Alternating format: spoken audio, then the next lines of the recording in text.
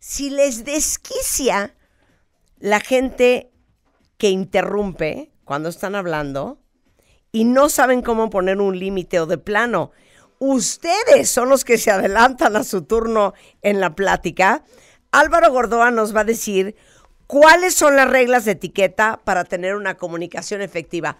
Nada más quiero hacer una pregunta. ¿Estamos de acuerdo que hay dos tipos de personas? Los que nos vale que nos interrumpan y los que se ponen como locos. Hay interrupciones que ayudan a la conversación, que le ponen esa sal y pimienta que le está faltando a una conversación que a veces está siendo aburrida. Claro. Entonces, no se confundan de que siempre es malo interrumpir. Sí.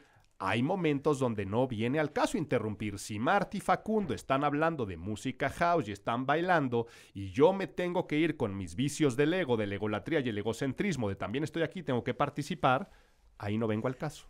Claro. El problema es cuando te empieza a ganar esos vicios del ego, que por egolatría y por egocentrismo, todo tiene que girar alrededor de mí. Claro, a mí me encanta ese dicho que dice, enough talking about me. Let's talk about you. What do you think about me? ¡Ah, qué maravilla! Claro, entonces es darles cuerda. Darle cuerda Ahora, es bueno. a ver, entonces yo te la voy a poner, no te voy a dejar así de fácil, ¿eh? Miren, no todo el mundo en la vida es interesante y entretenido. No.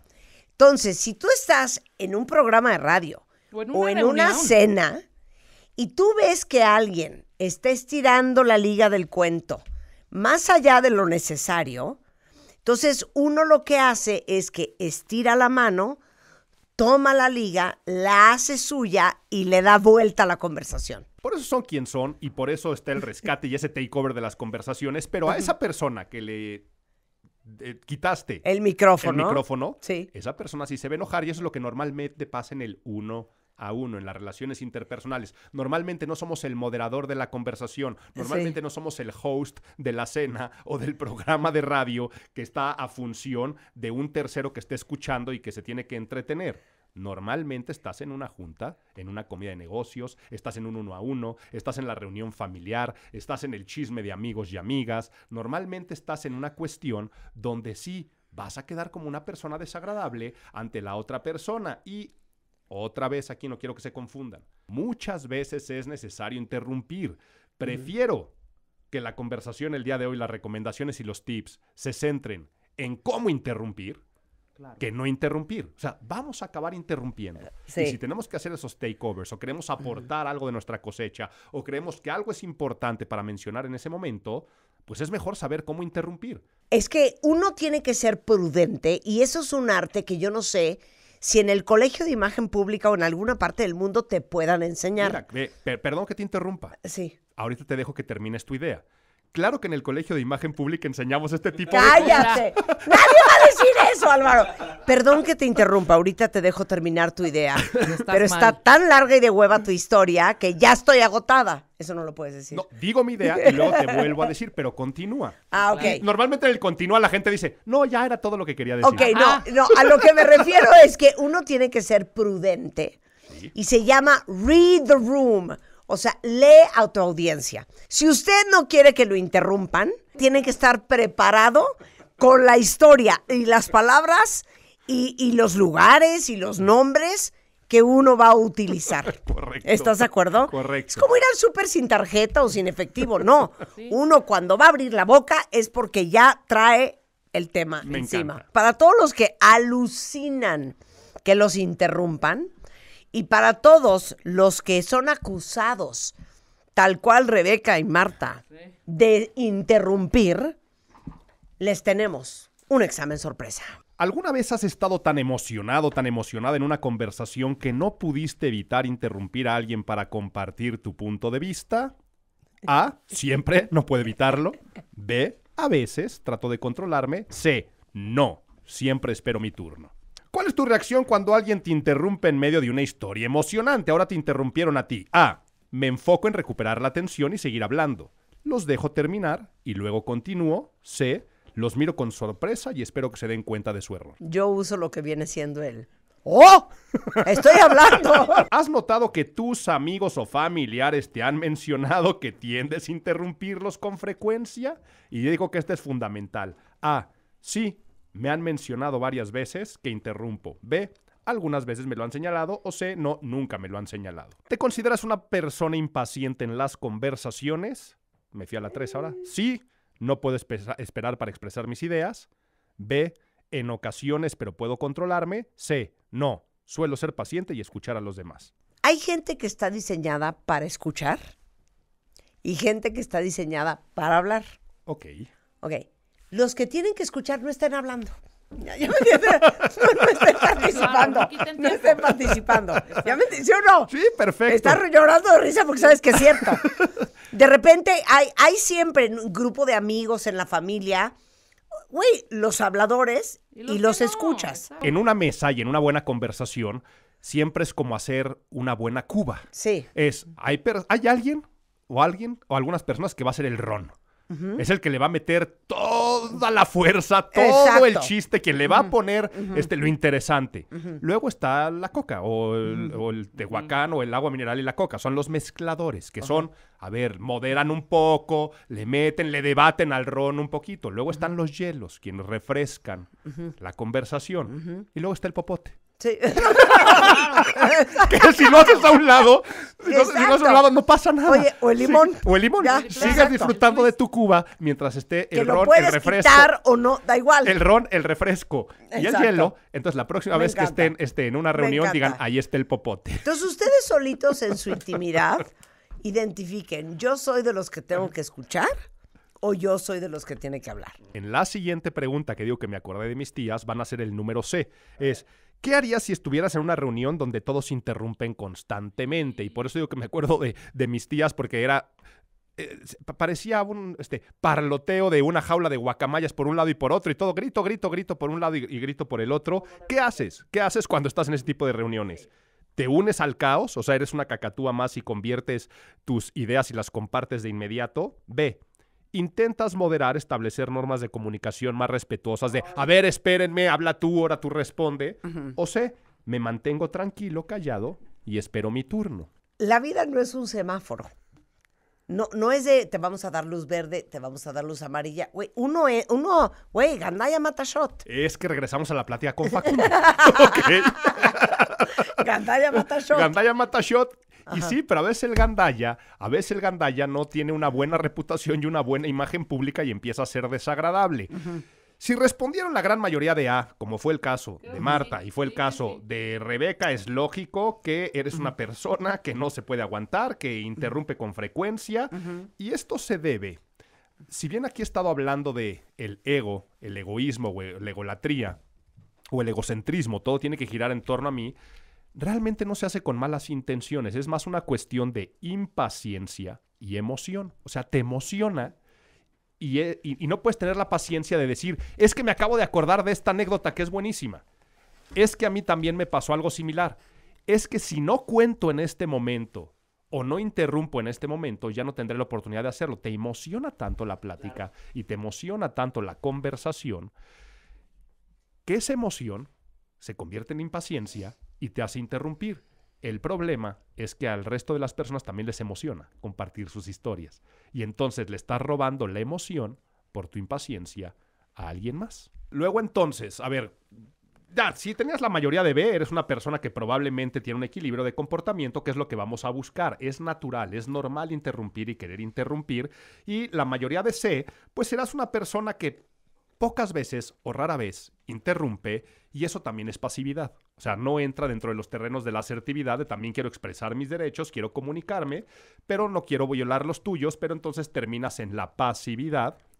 Y en la vida, como tú dices, hay que acaparar. O sea, en la vida también debe, de vez en cuando hay que decir, el spotlight tiene que ponerse en mí porque si no, no brillo. Tenemos que tener este punto intermedio que ahora sí vamos a ver cómo hacerle para que Marta, Rebeca y todos los que nos están escuchando no les gane la emoción, no les gane la impaciencia y lo primero que van a tener que hacer es disculparse. O sea, van a interrumpir, pero quitándose la culpa. O sea, Entonces, puede ser tan formal como, perdón que te interrumpa. ¿ok? Tan formal. Está hablando la persona y le dices, perdóname que te interrumpa un momento. O puede ser más entre amigos de, no, please, please, please, déjame te digo esto rápido. Porque esto, pues aunque sea una descortesía interrumpir, muestra respeto ante la O descortesía. por lo menos como conciencia y autoobservación. Correcto. Y entonces ya nunca más van a decir, eh, esta persona se la pasa interrumpiendo y le vale gorro. Es, esta persona se la pasa interrumpiendo, Pero siempre pide pero sí le importa. o sea, O ya, sea. no, ya no es, ya no es le vale gorro. Ahora, una vez que interrumpes, siempre tienes que regresarle la bola a la persona que interrumpiste. Mm. ¿Ok? Ajá. Tienes que decirle un, pero continúa, pero nos estabas Decías, diciendo, pero decías. O sea, no agarras el micrófono y sales corriendo y nunca regresas. y no lo regresas. No. Entonces, empecemos con él. Eh, pero, perdón, perdón, sé que, te, sé que te estoy interrumpiendo, pero es que a mí cuando me pasa eso, yo lo que normalmente hago es esto, esto y el otro, pero continúa, estabas contando lo que le pasó a Juan. Porque sabes que si no haces ese takeover en ese momento, estás perdiendo algún contexto o alguna información que a ti te gustaría saber. Álvaro, una oportunidad. Perdón que te interrumpa, pero me gustaría saber, no sé si me lo vas a decir más adelante, acerca de los beneficios, eh, si lo compro ahora o si lo compro el próximo año, pero continúa. Entonces le estás diciendo a esa persona que te estaba haciendo una presentación de ventas que en algún momento tiene que deslizar esa información porque, por a ti- pe- porque para ti es importante. Claro. Siguiente punto.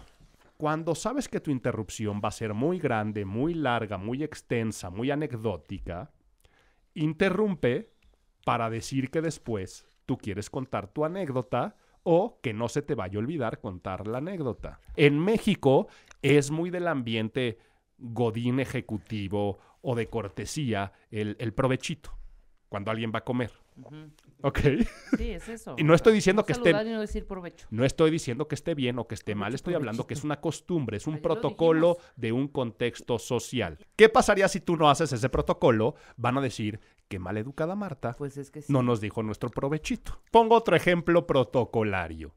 Saludar de mano, de beso, de abrazo en el lugar y en el contexto en el que estás. Si tú estás en Estados Unidos, Marta, sabes que a nivel social, en el contacto uno a uno primero con personas que han vivido y se han, a- se han criado, no en una comunidad latina, no le saludas de beso en el primer contacto. Claro. No. ¿Ok? Y lo sabes. Haces un nodding o haces otro tipo de saludo. Hi. Hi, no sé qué, y no sé Nada cuánto. como cuando mi hermana la mayor apareció con el novio nuevo Ajá. hace muchos años, después fue su esposo, gringo, gringo, gringo, gringo. Entonces obviamente llega, A la familia. claro, y entonces pues yo llego y pues Sí, de le doy un beso y lo abrazo. Cuando lo abrazo, dice, oh, ¡Wow! Sí, claro. no Porque es un, es un protocolo. Ahora, llegas aquí a México a una reunión social y mira, te presento a la nueva novia o te presento al nuevo novio y el nuevo novio nomás de lejitos hace, hola, hola, todos van a decir, lárgate. Lárgate, lárgate, ah, que amargado. Entonces, es exactamente lo mismo. Tal vez a ti te está generando un poquito de escosor, eh, no sé cómo decirle la palabra de roña, urticaria, al decirle a alguien, perdón que te interrumpa. Sí, ¿Ok? Porque en tu cerebro es un provechito. güey. Sí, exacto. Es, es algo similar. es una cursilez. Pero esa cursilez es una cortesía que la gente puede llegar a esperar o que puede ofender Sí. si no lo haces. Escucha activamente y entiende cuándo puedes interrumpir. Hay momentos donde ya es prudente hacer el takeover. O sea, ya la persona contó que le tocó un chorro de tráfico y no podía bajar y se le metieron tres personas y eso es desesperante. Y ahí ya dijo la idea y es cuando interrumpes. Entonces, interrumpir es parte de la conversación, es como el tenis, es como yo te paso la bola, tú me la regresas, pero yo sé que en algún momento también es un tenis que te puedo robar el juego porque esto lo va a hacer más entretenido para ti también. El único problema es cuando la persona está a la mitad de la idea, todavía no llega a una conclusión, todavía no llega a los highlights, todavía esta persona no ha dicho el punto que iba a generar la conversación y ahí es donde le estás robando. Por lo tanto, hay que priorizar lo importante, hay que saber establecer estos límites de forma asertiva, disculpándonos, regresándole la plática a la otra persona o simplemente abriendo un paréntesis de que no se te olvide al terminar hablar acerca de lo que quieres decir. Y este es una forma de mantener el control de las conversaciones y de mantener tus emociones al conversar, porque reitero, Una persona que interrumpe es una persona que se deja llevar por su emoción. Está tan emocionada de compartir su charla que le roba la emoción a los demás. Es parte entonces de la inteligencia emocional, quieras o no quieras. Si tú eres una persona que sabe que no pasa nada, dejar que el otro brille un poco con la palabra para después tú brillar con la buena interrupción, va a ser una forma donde tendrás una mejor reputación y una mejor imagen pública. El Colegio de Imagen Pública del cual eh, Álvaro Gordo es rector, déjenme decirles que tiene maestrías, licenciaturas, diplomados. Cursos, talleres, educación presencial y a distancia. En imagenpublica.mx se encuentran toda la información. En arroba imagen pública, redes sociales, pueden también ahí pedir cualquier tipo de informe. Licenciatura en imagología, carrera en diseño y fashion styling y muchísimos programas de educación continua que te van a ayudar a explotar esta nueva profesión que es la buena percepción. Imagenpublica.mx. Te queremos, Álvaro, te queremos. Y yo más a ustedes.